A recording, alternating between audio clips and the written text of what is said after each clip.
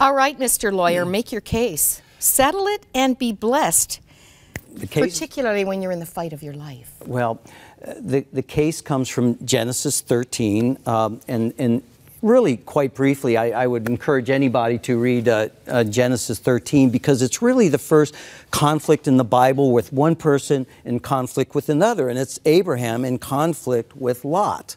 And it's Abraham, the uncle to his nephew Lot, that says, Hey, look, let's not fight. Allow me to paraphrase for a second. Let's not fight. Look, if you want to uh, look ahead, you go to the left, I'll go to the right. You go to the right, I'll go to the left. And let's resolve this conflict. And Lot, the nephew in essence, looked out and saw the Jordan area and said, This is, the, this is where I want to go. And he goes off that way, which is close to Sodom and Gomorrah. That's another story. But it looked the best. It looked the best, is, is the point. He chose, the Bible says he chose for himself. Hmm. You got to be careful when you choose for yourself, you know what I mean? So, anyway, so Abraham goes off to the left in essence, and, and then that's when in the Bible God swoops in and blesses him and his descendants forever. And that's the premise of the book. Look, and ultimately promises him the very land that Lot ex- chose. exactly, exactly. Now, you you know, we've all got a, a, a before Right. story. We heard a little bit of Robbie's. Right, right. Um, I, I- I want to read a little bit uh, of what you said here. Um, in 1984, you weren't a Christian. Correct. You say, I was living the good life, big salary, dating the prettiest women on the planet, and scouting out my first Porsche. It was LA law, and I was a rising star, at least in my own mind. Right, right. And uh, I, I had wonderful offices in Beverly Hills. I mean, they were really nice. And uh, to make a very long story short, it was a Wednesday night, and I would drive home from Beverly Hills to my really nice town home in Malibu and pass that little church Wednesday night. And one day I just felt called to drive in. And I parked, and a pastor just like Robbie here really did an altar call. I'm telling you, under five minutes. And uh, I felt so driven to stand up and answer the call. That was November 1984 on a Wednesday night. And you very quickly made Jesus your senior partner. Yes, absolutely. Yes. Yeah, absolutely. It's been it's almost 30 years now. I'm still standing.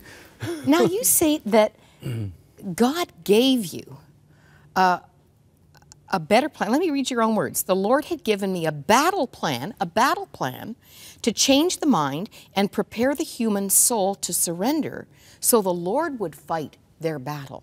I mean, you're, Right. you're talking about settling, but Right. your job for 30 years has been litigation, has been fighting on behalf of people. How does this work? Well, in a nutshell, when you spend, if you're a Christian and you spend your life at the crossroads of human conflict, you, you have the heart to get people to resolve conflict. I mean, it's just in you. And yes, you're still at the crossroads, but you have so many opportunities to mediate and to help people. And I feel the Bible just has so many tools to help us change our hearts. And I, I say in, the, in, in my book, I talk about the Beatitudes because you know, when you're trying to get somebody to change their heart, what, what's a tool? And one of the first tools I felt the Lord gave me was the Beatitudes. And I, and I say that it, you know, I was so excited. It turns out that the Beatitudes are a battle plan, a battle plan to turn the battle over to The the Lord. And remember, and I say it in my book, it comes from the Old Testament the Lord is a warrior, the Lord is his name. So the Lord is a warrior. I mean, the Bible makes that clear. And, he, and yes, He wants us to be peacemakers, but He's on our side. Okay? So, you know, what's that balance? You have to have discernment. You have to have a lot of discernment. And, you know, and, and I say in the book, the one that sacrifices nothing for resolution learns and discerns nothing. We are called to sacrifice, and we know who the, the greatest uh, sacrifice has been is Jesus, you know, sacrificing his life. So. I should mention that in the book, most of the names, if not all, have been changed to protect you from lawsuits. Uh, well, really, they, they've been changed because, uh, you know, that's just the right thing to do. Mm-hmm. But, you know, I've been so blessed by, you know, Harry Goldberg, for example. You've got to know. tell the story of Harry. Now, that's not his real name. No, that's not his real name, but This is a real story of, Right. I, I- I think, first and foremost, your passion for the Lord and doing things his way. right. But Harry was Jewish. Harry was Jewish, and my mentors, uh, and these are their real names because I'm, I'm honored. Uh, Max Greenberg and Herb Bernhardt, those are real names. And uh, they were my mentors, and they're Jewish. And I was so blessed that they mentored me in, in a sense as a, as a trial lawyer. Herb Bernhardt, in particular, he's now passed away, but, but what a mentor because they were very Jewish, and I, mean that as such a compliment because the Old Testament, they loved it, and I would go to all the ceremonies and everything else. And then it turns out that Harry Goldberg is Jewish and was really attacked. And, and so you know, he would share the Psalms and I would share, you know, Christ's message and we bonded and we fought this massive trial. I was in my early 30s and I was so over my head against four of the best trial lawyers in the country. And there's little old They'd me. really lawyered up on the other They side. lawyered up and I'll tell you, and so whether it be the Beatitudes or the Psalms, Harry and I every morning were praying and, and we And won that trial. And you called yourself a B lawyer at that time. I think I was a C minus lawyer actually, but, but uh, You said your assistants were C. Yeah, well, they, they, you know, it was LA Law days. And because I was a Christian, and I thank you, thank you, Jesus, thank you, Jesus, I never did drugs. I never did anything crazy like that, if you know what I mean. And so, so fortunately, I was, I was blessed. And, but yes, it was LA Law days. So, you know, you had people that were doing those sidebar things that were not so good. You encouraged your client to do what you had done. Mm-hmm. What did you say to Harry? Well, It's a little problematic for him. Well, if, if yeah, I, I remember uh, there's so Harry and I, you know, go back over 20 years. So there are many times when, for example, I asked him to pray the Beatitudes, and, and he really wouldn't. You know, You call it Jesus' eight-step program. Jesus said eight-step program. I keep it close to me because you know, one or two trials later, it's not like I can memorize it. But blessed are the poor in spirit, for theirs is the kingdom of heaven. Blessed are they who mourn. You know, everybody knows those, but. Harry didn't really want to do those, but he'd go back to the Psalms and he'd study them and the Proverbs, and then that was it. We bonded really tightly, and every morning we prayed the Psalms or the Proverbs or the Beatitudes. That was and it. God got him Yes. through the Psalms. Specifically, Psalm 95, verse mm. 7. Right.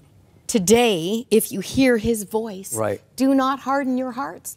That was a turning point for Harry. It was because you know, you know Harry. Yes, I, I believe. You know, I have never heard the audible voice of God, but in my heart, I feel strong. Just and and Harry just felt he started to hear the Lord in his heart. Tell him what to do that day.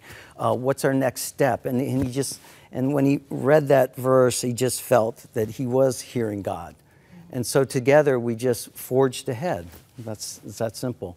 And he was he was in the fight of his life. This was, everything was on the line. You know, Moira, it, uh, it's very simple.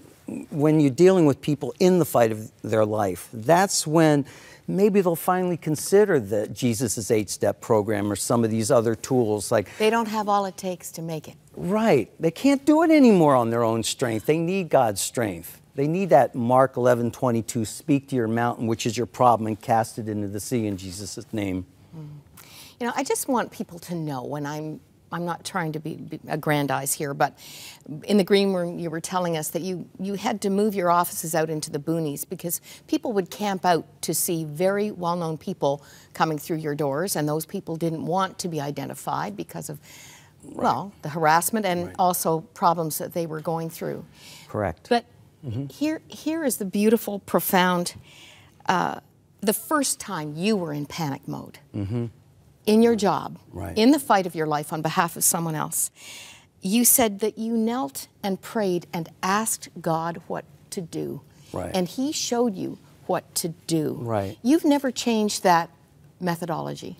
Well, I call it God's to-do list, uh, and and and uh, I've been kneeling down for 30 years now, and uh, and yes, I, I I just asked what He wants me to do that day, and uh, I felt that you know then and all the way up to now, He just gives me the list of things to do, which is is kind of tough because I, I am uh, you know I have that personality. Well, what about this also, and let me add this and not that, but I try to stick to His list, God's to-do list.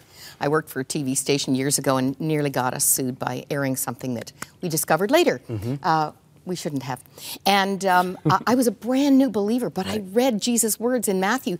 You know, you better settle this on your way, or you're going to end up paying the last penny. I actually went to the general manager and said, um, "I think we should heed this." Right. I, I'm not sure how God got us through that. but 5, settle it quickly. Jesus says, settle it quickly. I mean, if anybody is listening out there, settle matters quickly in your life, which means without delay, soon. And not hastily, which means superficially or, or fearfully, but quickly. I'm just going to mention a chapter that we don't have time to defend right now. Mm-hmm. But you say peacemakers are always seriously prepared for battle. Correct. We all need to hear that. We do because um, the Bible also says that uh, it- complacency is a trap. And so we're not called to be simple minded or complacent. The Bible specifically says the complacency of fools will destroy them, and the waywardness of the simple will kill them. Mm-hmm. So, no, we're, we're still called to be very, very prepared, whether it's how to help your son or daughter with a drug problem or get ready for trial or you're still prepared think of the thing that you need to do to prepare to resolve this conflict in your life think what it what the lord will tell you what to do. Ask him for the message the strength and and the guidelines or the to-do list. The way through. yeah because you have to be prepared. He's calling us to prepare and to do it abundantly